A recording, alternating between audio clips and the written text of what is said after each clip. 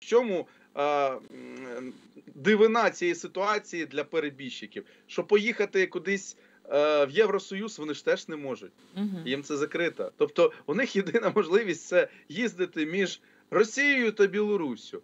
Але що там є наші представники, що в Білорусі є наші представники. Тобто це якраз говорить про те, що ну ніде не сховаються, і український мусад буде діяти, і з часом ця діяльність буде лише збільшуватися.